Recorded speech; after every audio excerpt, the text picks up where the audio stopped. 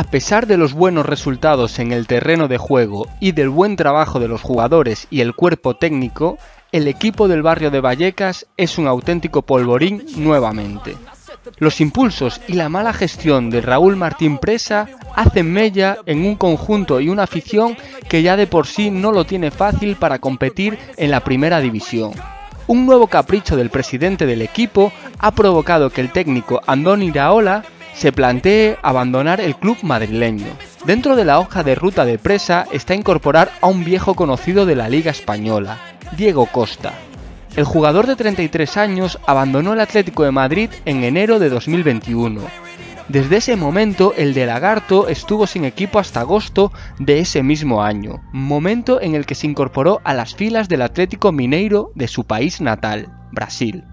Jugando en el campeonato carioca, el delantero disputó 19 partidos y anotó tan solo 5 goles en todas las competiciones. Breve fue su paso por el conjunto brasileño.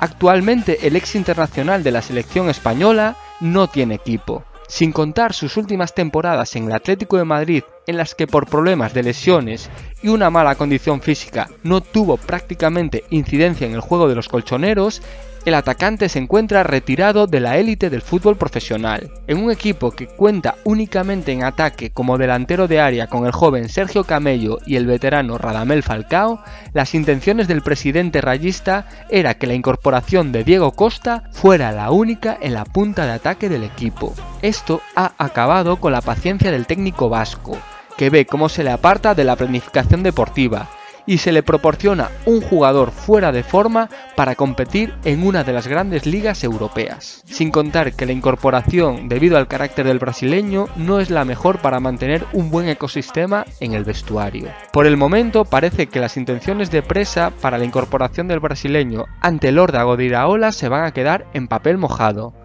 aunque conociendo las formas del excéntrico presidente, pueden avecinarse sorpresas muy desagradables para los aficionados del conjunto vallecano en los próximos días.